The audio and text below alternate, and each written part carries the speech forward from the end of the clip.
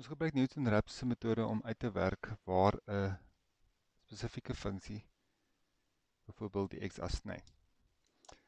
So Newton-Raphson is 'n is 'n numeriese metode om die oplossing te bepaal. So kom ons kyk net wat beteken Newton-Raphson. So wanneer ek 'n grafiek het, kom ons sê ek so iets en ons het 'n punt hierso x1 en ons vat daai punt op tot waar hy die funksie sny. So daai punt sal natuurlik wees x1 en f van x1. En wat wat sal gebeur as ons dan die raaklyn vat van daai lyn? En die sny weer die x-as. En waar hy die x-as sny, vat ons as x2. Hierdie metode kan nou herhaal word Ons vat weer die x-as. Skryf weer die snypunt. En dan kom ons bietjie nader aan die die wortel. So daar is x3. As ons hierdie proses nou herhaal, dan sal jy sien ons kom baie naby aan die waarde en op die einde gaan ons die waarde kry. So daar sal x4 wees. OK, so as ons nou kyk na hierdie deel en ons wil 'n formule uitwerk vir hierdie funksie om daai punt te bereken. Gaan ons hierdie herhaal, proses herhaal. Kom ons sê ons weet wat die helling is van 'n lyn. So ons weet uit gewone wiskunde uit dat die helling is die die y2 minus y1 deel deur x2 minus x1. So as ons kyk na daai punt en ons kyk na hierdie punt. So hierdie punt sal x2 wees en die y-waarde sal 0 wees. So kom ons sê nou dat die helling wat natuurlik die afgeleide is van 'n funksie, is altyd die helling van 'n funksie. Sal dan wees x y2 so hierdie sal y2 wees wat 0 is minus y1 deel deur x2 minus x1. OK. As ons nou hierdie kant en daai kant maal met x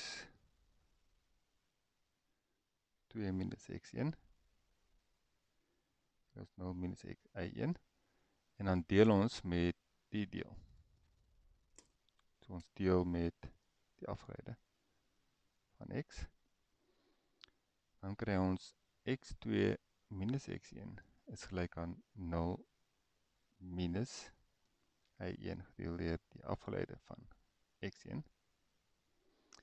En y2 weet ons is 0 So as ons dan nou sê daai ene is xn plus 1, wat dit sal die 1 na n wees, daai sal x1 wees. x1 wat ons oor daai kant toe kan is xn minus y1 en y1 in hierdie geval is die funksie van xn deel deur die afgeleide van xn wat ons eerste waarde is.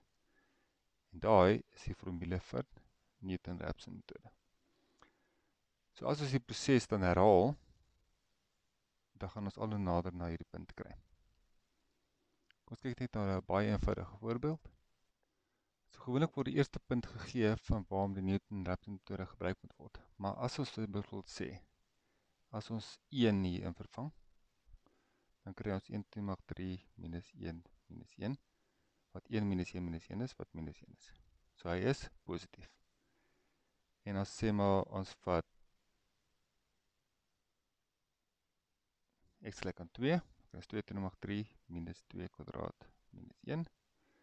So dit is 8 minus 4 minus 1 gee vir ons 3. So jy kan sien die een waarde is positief en die ander waarde is negatief. So ons weet dat tussen 1 en 2 gaan die snypunt wees of die wortel wees van hierdie grafiek. So dan kies ons ons eerste waarde as iets tussen daai 2, kom ons sê 1,5. So Newton het ons nou uitgewerk is x die volgende punt gaan wees die vorige punt minus die y-waarde van die eerste punt minus die afgeleide van die eerste punt. So wat ons nodig het om hierdie funksie ons moet eers die afgeleide van die funksie bepaal. So ons kry die afgeleide van die funksie. So wat is x tot die mag 3 se afgeleide? Dit is 3x kwadraat. En wat is minus 2x kwadraat afleide is minus 2x. ag minus x kwadraat se afgeleide is minus 2x. Goed, so net ons metode gaan sê xn plus 1 gaan xn wees minus die funksie van xn gedeel deur hierdie funksie.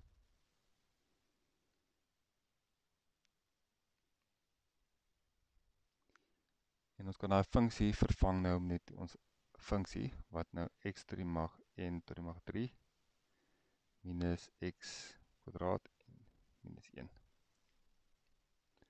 So daai is ons formule. So nou gaan ons die kalkulator gebruik. En ons eerste waarde gaan wees 0,5. Ag 1,5. So wat ons doen is op die kalkulator sê ons 1.5 is gelyk aan So nou weet ons dat answer is 1.5. So elke keer as ons answer druk,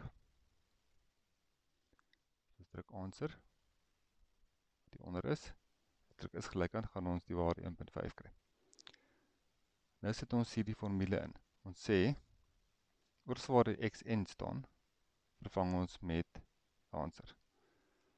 So hierso sal die funksie wees answer, minus breek answer tot die mag 3 minus answer kwadraat minus 1 oor die afgeleide van 'n funksie wat 3 answer kwadraat minus 2 answer. So nou het ons basies ingetik wat daar staan. En ons gaan as ons is gelyk aan dan kry ons die volgende antwoord. In hierdie geval gaan dit 1,46667 wees. Nou, die calculator is nou so ingestel dat hy answer elke keer gebruik vir die volgende antwoord. So as ons weer enter druk, gaan hy dieselfde waarde in vervang en dan weer in die formule die volgende antwoord kry. En as ons weer druk, kry ons weer die antwoord van die volgende. So gewoonlik gee ons vir jou 'n beperking en sê wat tot hoeveel desimale. So kom ons sê dit is tot 5 desimale dan gaan ons dit aan aanhou doen totdat die 6ste 1 2 3 4 5 tot die 6ste waarde dieselfde bly. So as ek hom weer is gelyk aan druk dan kry ons 1,4655712. So jy kan sien daai sewende